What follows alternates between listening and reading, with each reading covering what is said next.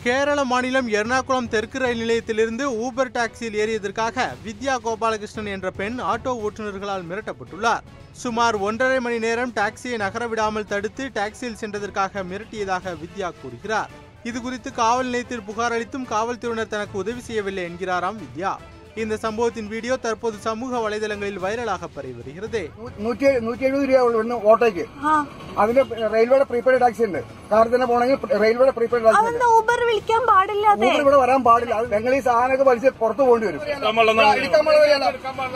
അറിയാലോ വെറുതെ വിഷയം ഉണ്ടാക്കാൻ വേണ്ടിയാണ് ഒരു കാര്യമില്ല ഇല്ല ഞാനിത് കംപ്ലൈന്റ് ചെയ്യും ബിക്കോസ് ഞാൻ അങ്ങനെ ഒരു നിയമം ഇല്ല ഇവിടെ ഊബർ വരാൻ പാടില്ല എന്ന്. എവിടെ എവിടെയെങ്കിലും എഴുതി വെച്ചിട്ടുണ്ടോ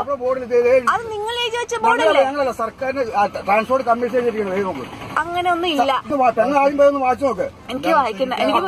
വീട്ടിൽ വായിക്കാനും പറ്റുന്ന എനിക്ക് വീട്ടിൽ പോകണം ഞാൻ ബുക്ക് ചെയ്തു ക്യാബ് എന്റെ ഫ്രണ്ട്സ് അവിടെ ക്യാബ് ബുക്ക് ചെയ്ത്. അവരുടെ പോയി കഴിഞ്ഞു. ഇത് ശരിയായ പണിയല്ല മക്കളെ കാണിക്കണതാ എനിക്കതൊന്നും പറയാനുള്ളതല്ല